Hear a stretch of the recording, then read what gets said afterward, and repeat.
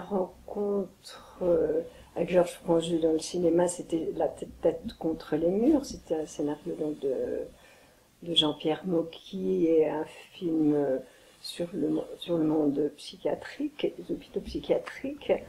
Et Franjus voulait, trouver une jeune, euh, une, très jeune fille mystique et qui puisse chanter, qui, était un petit peu, un petit peu totalement en contraste avec ce, monde violent, totalement déchiré de des gens qui souffrent euh, dans, ce monde-là, dans ce monde psychiatrique. Et donc j'avais choisi, euh, je, crois peut-être parce que je j'avais quelque chose d'un petit peu euh, un petit peu qui marche un petit peu au-dessus du sol et quelque chose d'un peu rêveur ou quelque chose d'un peu éthéré, je ne sais pas très bien quoi dire, et quelque chose qui probablement au fil des années et des autres films que j'ai tournés avec avec Franju qui, qui, devait correspondre à, à quelque chose qu'il souhaitait parce que Georges Franju était très fasciné par la violence, la dans le sang des bêtes, c'est comment on tue les animaux, de ça. Et, toujours dans ces films, dans ces courts-métrages, il y a aussi un autre volet qui est un volet poétique et beaucoup plus. Euh, plus, plus clair, qui, qui, existe dans le sang des bêtes, par exemple, où il y a, euh, en, en, parallèle avec cette tuerie non-stop, où il y a, on voit une péniche qui passe, comme ça on a l'impression qu'elle marche, euh, qu'elle, parce qu'on on, voit pas le, canal lui-même, on a l'impression que c'est une, péniche qui glisse euh, sur la terre, comme ça.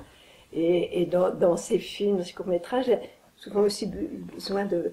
Il a mis en scène des, oiseaux, des oiseaux qui volent, des choses beaucoup plus poétiques. Quand, quand Franju euh, travaillait sur le scénario, euh, avec Bolonard-Sejac, qui était d'ailleurs d'ailleurs dans leur grande époque, hein, parce que Vertigo c'était juste, avant ou juste après, je ne sais pas, il y des choses merveilleuses. Euh, Bolonard-Sejac avait, euh, des, envies de, choses un peu, je ne sais pas que, que je ne sais pas si c'est Pierre Brasseur ou moi qui finissait euh, quand, on, fabrique du, c'est pas du plâtre ou du béton, on met il y a des cuves où, on peut jeter les gens qui meurent là-dedans. Ils avaient une vision de la fin du film beaucoup plus euh, trash. Et, et, Franju, lui, voulait une fin beaucoup plus, beaucoup plus lyrique. Moi, je crois que je devais faire partie de, de, de, de ce monde-là, de, cette jeune fille à protéger, euh, voilà. Je commençais à prendre des cours de théâtre, euh, je faisais en parallèle une, des études un peu littéraires, et c'est des gens qui avaient fait un, euh, qui commençait aussi dans, sa carrière de journaliste, et qui avait fait un fichier de comédiens qu'il aimait bien, jeunes comédiens, comédiens et comédiennes, et je crois que c'est à cette occasion-là, j'avais donc donné une photo. Et euh, Georges Franju a, vu cette photo, il l'a trouvée belle, donc il m'a rencontré, puis il m'a choisi. Je me souviens pas euh, notre première euh, euh, rencontre, sinon j'étais, j'ai la vision de ce petit bonhomme qui, qui courait un peu de tous les côtés, qui savait exactement ce qu'il voulait. Il était très, peut-être parce qu'il venait du documentaire, il, il était très puis il a été décorateur aussi, donc il très sensible aussi aux architectures. Ça, dans, dans Judex, il y a, il y a pas mal de maisons modernes style. Euh, il a aussi s'est baladé dans Paris de façon très précise et on voit bien aussi un certain Paris. Oui. C'est vrai que c'était une drôle de personne parce que il y avait des, il était très subjectif sur un plateau. Il y avait des personnages qui, des acteurs qui aimaient beaucoup qui s'occupait beaucoup, qui le fascinait un peu, Pierre Brasseur, Anita euh, moi. Euh, et, c'est vrai, il y a des gens qui l'intéressaient pas beaucoup, alors peut-être qu'il qui s'en occupait pas beaucoup. Et, c'est certain qu'il il, il, ne recherchait pas quelque chose ou de, de naturaliste ou de psychologique ou, un peu comme c'est la mode aujourd'hui, d'un comportement un peu d'un jeu un peu euh, acteur studio, il aimait, une chose plus, plus hiératique. Et, mais, mais, mais je crois qu'il était fasciné par les acteurs. Emmanuel Riva, il adorait Emmanuel Riva. dans Thérèse des dans, le Cocteau aussi, il, il était très proche d'elle et, je ne pense pas qu'elle dirait une chose pareille. J'avais tourné cette petite chose dans, la tête contre les murs. J'avais beaucoup aimé le film, c'est absolument pas revu après tout ça. Il travaillait avec Boileau Narcejac sur le scénario des, Yeux sans visage. Il avait vraiment envie de, de, de quelqu'un qui n'ait pas tourné et qui soit un peu une découverte, que personne ne connaissait, qu'on puisse pas mettre des rôles déjà sur le, sur le visage de la personne qui jouerait euh, Jacqueline Génessier. Et, effectivement, je pense qu'il a pensé, enfin, il a pensé à moi, il a souhaité que ce soit moi. Les producteurs n'étaient pas contre, c'est toujours très important, les producteurs. Et donc un jour, j'ai reçu un coup de fil de lui où, où, il me disait qu'il me proposait ce rôle. Donc je ne sais pas non plus, c'est pas du tout. Euh, c'est une chance formidable pour moi. Euh, Frangé racontait bien les histoires, il racontait bien ce qu'il veut.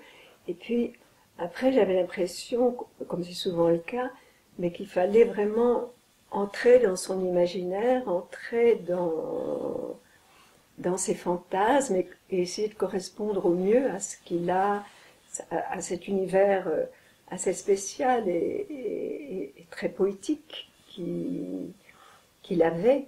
Mais non, pas de, de répétition. Mais par contre, euh, il était très proche des acteurs, parce que je me souviens une scène, la scène du repas dans, Les yeux sans visage. Il n'était pas très content, je crois, du tournage. Je ne sais pas si c'était moi ou d'autres acteurs. Donc on l'a refait pour que ce soit plus, proche de ce qu'il de, de ce qu'il voulait. Il était très très très attentif. On m'a fait comme un masque mortuaire. On met les deux petits tuyaux dans le nez. À l'époque, c'était. Puis, on met un masque, ça chauffe, ça chauffe, ça chauffe, on garde ça longtemps. Maintenant, c'est beaucoup plus, beaucoup plus soft. Et, et après, il y a eu aussi plein d'essais pour, voir les défigurations, pour essayer euh, la qualité du masque qui ressemblait, l'épaisseur de, du plastique. Il y avait en fait, j'avais j'avais deux ou trois masques. Euh, il y avait un masque qu'ils avaient fabriqué que je pouvais enlever et remettre. Et puis le, masque que je mettais en général sur mon visage le matin en venant au maquillage, c'était un masque très très très fin qui était collé de partout. Euh, et, donc j'ai gardé toute la journée et qui était, c'était lui qui était le plus ressemblant avec euh, avec un visage normal ou avec la peau de quelqu'un. Mais il y avait un masque qui était très fin ou quand je parlais, ça faisait bouger le masque, alors c'était pas possible, donc certainement on a dû. Il n'y a pas beaucoup de choses que j'ai euh, que j'ai doublé. C'est peut-être le masque intermédiaire où je pouvais parler. Ah, c'était une bénédiction pour moi, moi qui n'avais jamais, j'avais pris des cours. Peut-être j'avais joué une pièce de théâtre, mais j'avais pas fait grand-chose. Et de tout d'un coup être là avec un rôle euh, tellement spécial où je vais avoir même sur le visage qu'on est obligé de garder, donc c'est une espèce de, de prison et sur le tournage, euh, je me sentais totalement, totalement isolée, euh, seule, isolée des autres, exactement comme est, comme est le personnage dans, dans le film. Et donc ça m'a aidé, comme je ne pouvais pas exprimer quoi que ce soit avec mon visage, puisqu'il était il était pétrifié, il ne bougeait pas, et comme j'avais du mal à parler, j'étais bien obligée de, de, de, bah, de développer peut-être plus, plus fortement que normalement une, gestuelle corporelle euh, qui est assez visible dans le film en fait.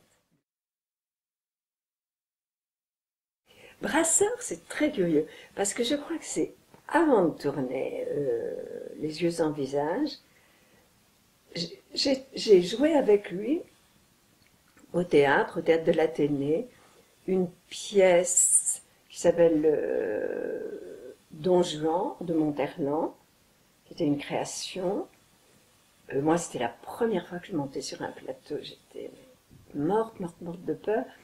Et Pierre Brasseur était formidable avec moi, très, très paternel, très.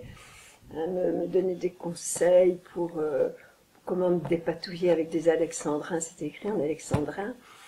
Euh, très, vraiment très, très, très gentil. Sur les yeux sans visage, euh, aussi, il était très présent, puis il était très très très copain avec, euh, Franju, il s'entendait comme larron en.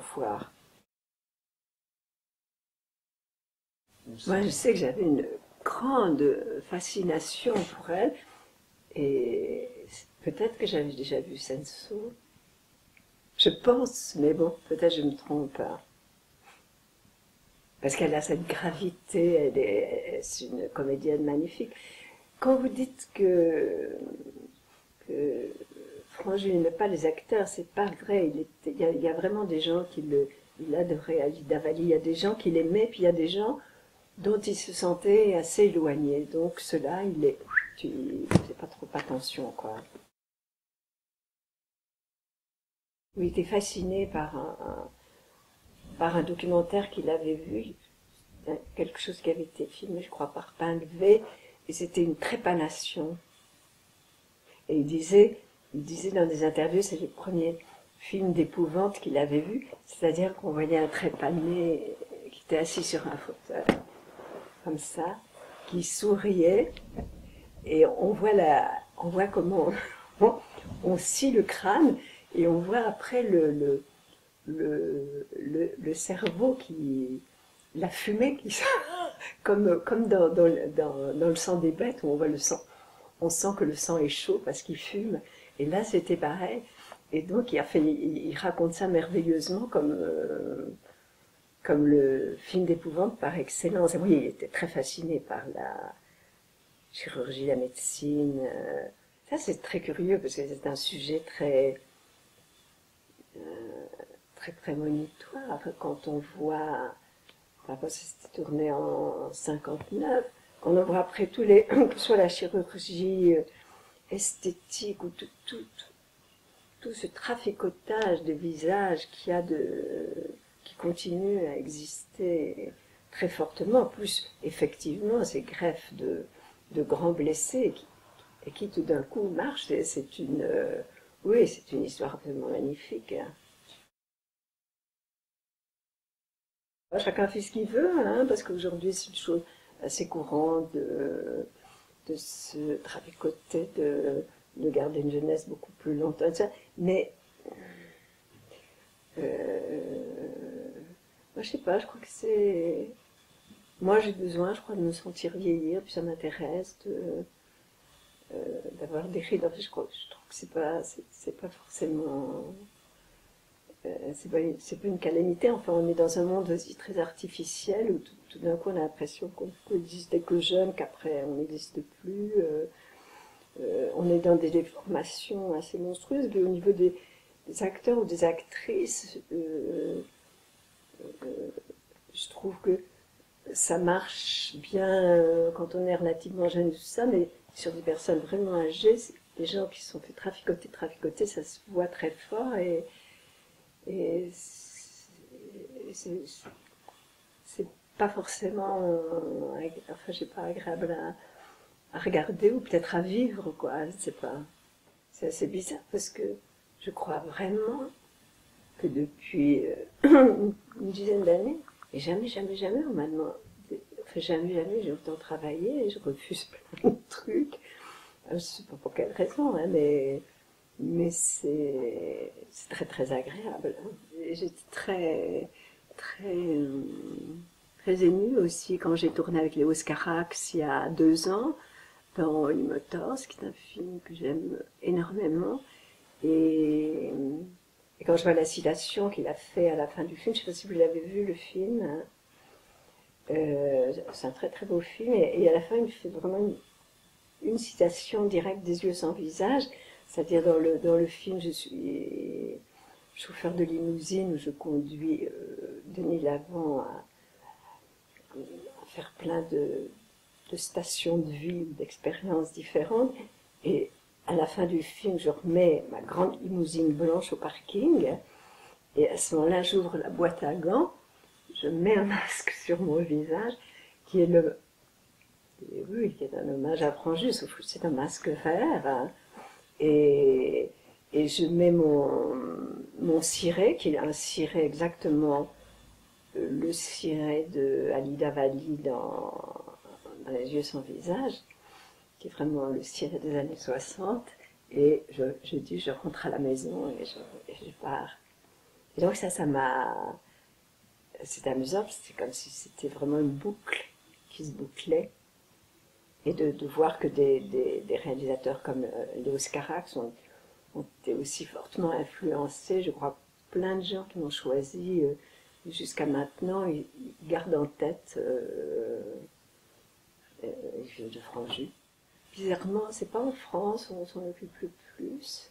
Parce que là, vous parlez des courts-métrages, mmh. ce sera en Grande-Bretagne, hein, c'est pas en France, on, on monte pas trop au créneau, mais mais, mais c'est merveilleux de penser qu'un film euh, plus d'un demi-siècle après continue à exister et, et, si je me enfin si, voyez je suis allée au Japon aux États-Unis dans d'autres pays c'est un film que les cinéphiles connaissent et donc c'est très agréable.